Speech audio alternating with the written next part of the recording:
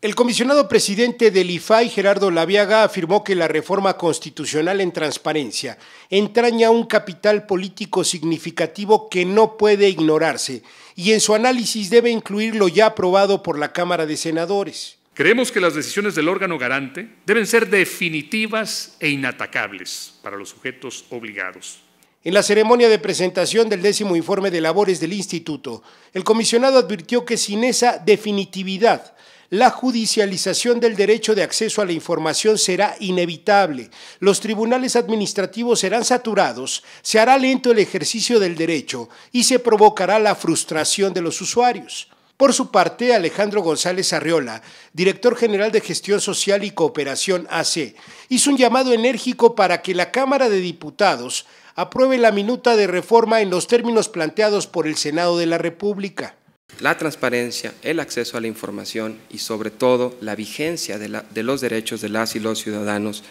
no pueden seguir siendo rehenes de juegos políticos. Mauricio Merino, coordinador de la Red por la Rendición de Cuentas, señaló que no se puede aceptar, sin más, que la Cámara de Diputados retroceda y eche abajo lo ya ganado. Lo que se está jugando, sin exagerar, es la pieza más valiosa de la consolidación democrática de México. Y todos, dentro y fuera del IFAI,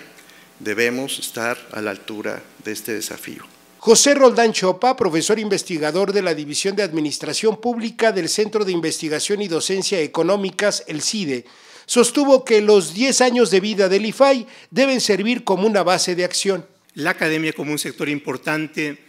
eh, y como un actor importante en el sistema, el IFAI,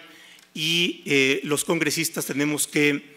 ir continuando en esta labor y entrar fuertemente a un avance en la etapa que viene. A la presentación del informe asistieron los senadores de la República Ernesto Cordero y Areli Gómez, el presidente del Tribunal Federal de Conciliación y Arbitraje Álvaro Castro, el auditor superior de la Federación Juan Manuel Portal y el presidente del Instituto Nacional de Administración Pública José Castelazo entre otros invitados especiales.